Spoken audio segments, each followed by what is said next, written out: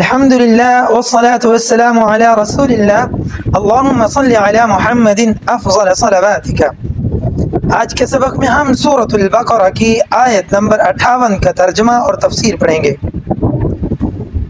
أعوذ بالله من الشيطان الرجيم. بسم الله الرحمن الرحيم. وَإِذْ قُلْنَا ادْخُلُوا هَٰذِهِ الْقَرْيَةَ فَكُلُوا مِنْهَا حَيْثُ شِئْتُمْ. حَيْثُ شِئْتُمْ رَغَدًا وَادْخُلُوا الْبَابَ سُجَّدًا. سُجَّدًا وَقُولُوا حِطَّةٌ نَغْفِرْ لَكُمْ خَطَايَاكُمْ وَسَنَزِيدُ الْمُحْسِنِينَ.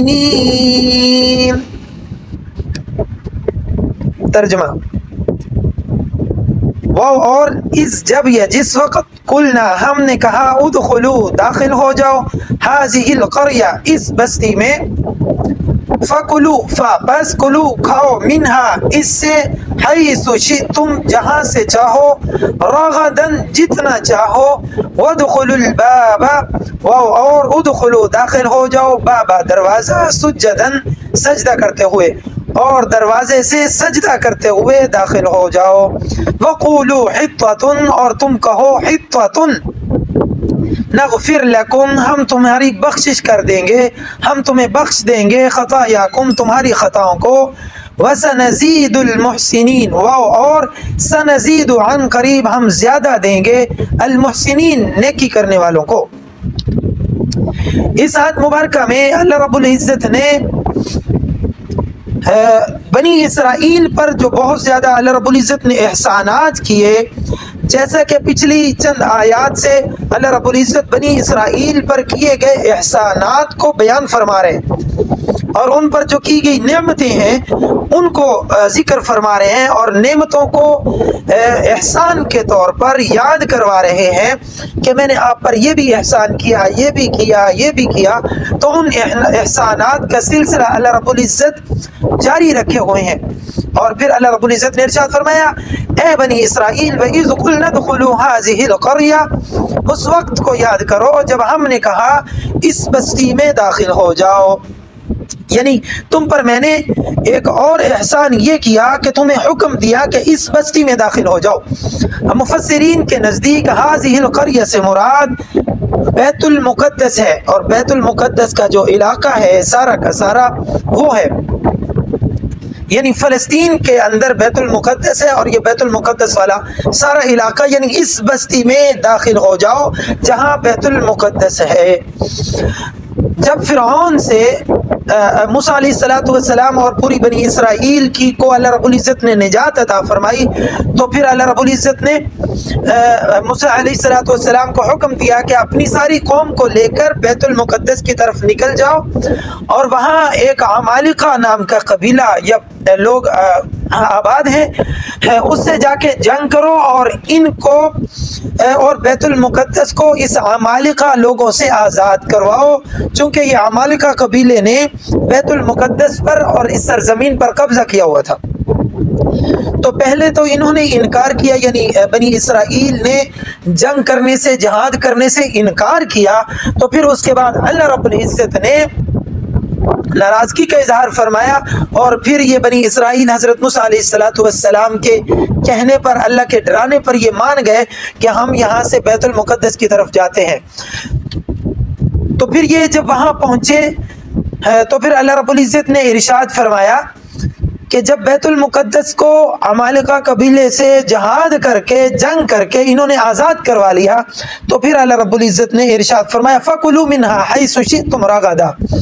اب جب تم یہاں اس اس بستی میں داخل ہو چکے ہو، تو اس بستی میں جو رزق بھی اللہ رب العزت نے، بیت المقدس کے ارد گرد اللہ رب العزت نے بہت سارا رزق جو ہے وہ اللہ رب العزت نے پھیلا دیا تھا اس بستی کے اندر بہت سارے میوہ جات اور بہت سارے پھلوں کے درخت اور اسی طرح ہر قسم کا میوہ اور ہر قسم کا پھل یہاں پر موجود تھا۔ تو اللہ رب العزت نے ارشاد فرمایا فَقُلُوا مِنْهَا حَيْسُ شِئْتُمْ۔ اس بستی کے اندر جہاں سے چاہو کھاؤ راغدن جتنا چاہو، جس مقدار میں چاہو، یہ سارا کا سارا اللہ کا رزق جو ہے وہ تمہارے لیے ہے۔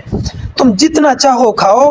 ودخل الباب سجدہ فتح کے بعد جب تم نے بیت المقدس سے داخ، میں داخل ہونا ہے، تو اللہ رب العزت نے ارشاد فرمایا ودخل الباب سجدہ بس میری ایک شرط یہ ہے کہ آپ نے سجدہ کرتے ہوئے، سر کو جھکائے ہوئے بیت المقدس کے دروازے سے داخل ہونا ہے۔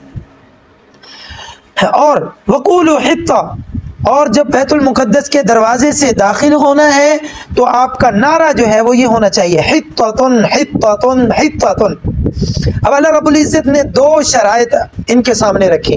نمبر ایک، کہ آپ نے سجدہ کرتے ہوئے یعنی سر کو جھکاتے ہوئے عاجزی کے ساتھ داخل ہونا ہے۔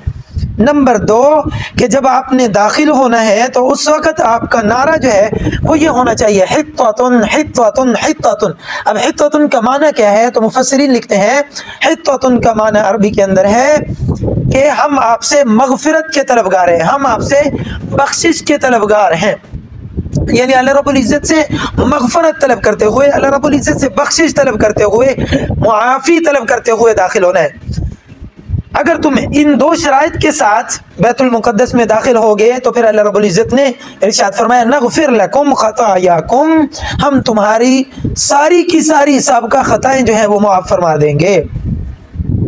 لیکن انہوں نے بنی اسرائیل نے کیا کیا کہ جب ان کو فتح عطا ہو گئی تو انہوں نے تکبر کرتے ہوئے غرور میں آ کر بیت المقدس میں سے جب وہ دروازہ بیت المقدس کا جہاں سے انہوں نے بیت المقدس میں داخل ہونا تھا وہاں سے داخل ہونے لگے تو سر کو جھکانے کی بجائے سر یوں اکڑا لیے، آسمان کی طرف یوں اکڑا کے داخل ہوئے یعنی تکبر سے داخل ہوئے۔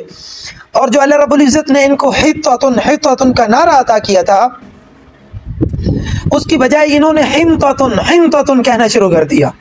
اور اپنی گردنوں کو اکڑائے ہوئے اپنی سرین کے بل، جو ہے وہ گھسڑ اپنی سرین کو زمین پر گھسیڑتے ہوئے، اور اپنے پاؤں کو بھی گھسیٹتے ہوئے یہ داخل ہو رہے تھے اور الٹا اللہ رب العزت کی ان دونوں شرائط کا ایک تو عاجزی کے ساتھ داخل ہونا ہے تو یہ تکبر کے ساتھ داخل ہوئے۔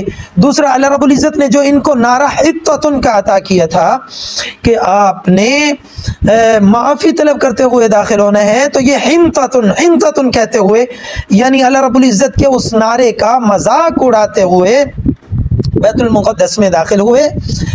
وسنزید المحسنین اور اللہ رب العزت نے ان کو ارشاد فرمایا وسنزید المحسنین اور عن قریب ہم نیکی کرنے والوں کو اور زیادہ دیں گے۔ تو اگلی آیت آیت مبارکہ کے اندر جو انہوں نے اللہ رب العزت کی نافرمانی کی تھی کہ اللہ رب العزت کو عاجزی کے ساتھ بیت المقدس میں داخل نہیں ہوئے۔ دوسری بات یہ کہ حتتن کی بجائے حمتتن کہنا شروع کر دیا یعنی اللہ رب العزت کے حکم کا مذاق اڑایا۔ تو جو عذاب ان پر نازل ہوا، اس کا ذکر جو ہے وہ اگلی آیت کے اندر ہے۔ آج تک کے لیے اتنا ہی سبق کافی ہے، اگلے سبق تک کے لیے بندہ نا چیز کو اجازت دیجیے اللہ نگبان والسلام علیکم ورحمۃ اللہ وبرکاتہ۔